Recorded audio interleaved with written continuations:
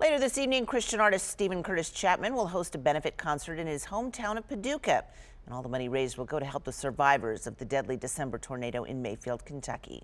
News Channel 5's Amelia Young is here now with more on that concert and the cleanup. And Amelia, hard to believe that was two months ago. Still a lot of recovery left to do in that area, I'm sure. Yeah, that's right, Jennifer. I mean, some places are having to completely rebuild from, you know, the ground up, and that's going to take a lot of time.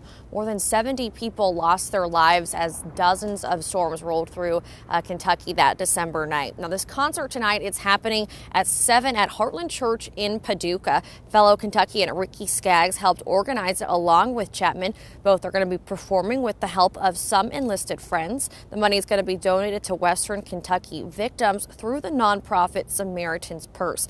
Chapman says his heart was broken to see the devastation at home and has been praying for everyone affected. He's been looking for a way to encourage families and show them some love, which is how the idea of a benefit concert came about. Skaggs added that he had previously visit, visited the devastated area on Christmas Eve with that nonprofit. He's asking people to bring their friends and help all they can to come together for their neighbors who have lost so much. Now, the, they're asking if you cannot come tonight but still still want to contribute to some of that relief fund, if you haven't already, to uh, make a donation through Samaritan's Purse. Again, that's where all the proceeds from tonight's concert will be going. Jennifer.